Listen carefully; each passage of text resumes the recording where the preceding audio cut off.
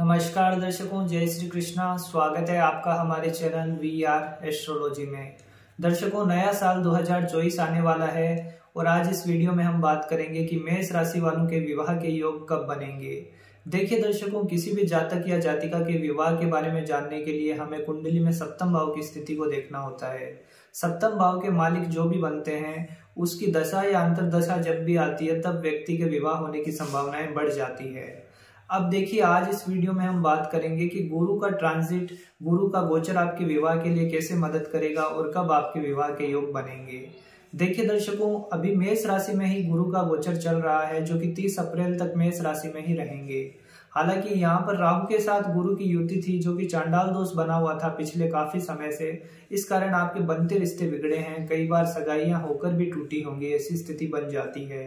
क्योंकि चांडाल योग में विवाह होना इतना संभव नहीं हो पाता। परंतु अब 30 अक्टूबर को चांडाल दोष से आपकी राशि को मुक्ति मिल चुकी है। इस कारण अब आपके विवाह की संभावनाएँ काफ़ी ज़्यादा बढ़ने वाली है। विवाह के योग बनने वाले हैं।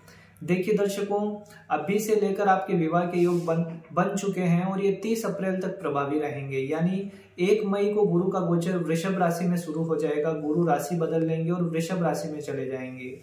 तब देखिए, आपके विवाह की वहाँ पर संभावनाएँ कमज़ोर हो जाएगी, परंतु अब से लेकर मान के चलिए 30 अप्रैल तक विवाह की संभावनाएँ बहुत प्रबल हैं। अगर आपकी कुंडली में भी एक बार आप दशाएँ देख लीजिए, अगर सप्तम भाव के मालिक की दशा चल रही है या फिर अंतर दशा चल रही है तो निश्चित तौर पर विवाह की संभावनाएँ काफ़ी प्रबल हैं।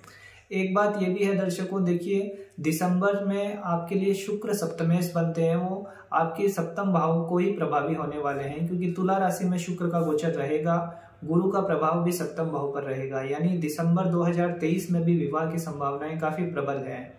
आपको प्रयास करने चाहिए दर्शकों, खास करके 30 अप्रैल तक आपकी विवाह होने की प्रबल संभावनाएँ हैं। आप प्रयास करेंगे तो बहुत अच्छा रिश्ता मिल जाएगा और विवाह होने की ज़्यादा संभावनाएँ बनी हुई है। यानी कुल मिलाकर ये पाँच छह महीने आपके विवाह के लिए बहुत ज़्यादा मज़बूत स्थिति बना रहे हैं। आपको प्रयास करना चाहिए, मेष राशि वालों का विवाह संपन्न हो जाएगा।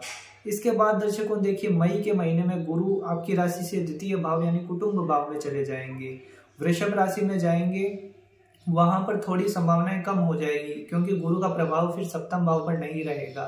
इसलिए आपको 2024 के शुरुआती समय में ही प्रयास ज़्यादा करने चाहिए। वहाँ पर संभावनाएँ ज़्यादा बनी हुई है आपके लिए।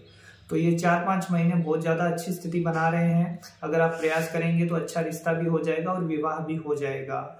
इसके साथ दर्शकों, देखिए, आपके सप्तमें शुक्र हैं। आपके विवाह में विलंब हो रहा है, दिक्कतें आ रही है तो शुक्र के बीज मंत्रों का जाप करिए आप। साथ में देखिए आपको गुरुवार का व्रत भी कर लेना चाहिए, क्योंकि बृहस्पति देव का अगर व्रत करेंगे तो विवाह की संभावनाएँ काफ़ी ज़्यादा प्रबल हो जाती हैं।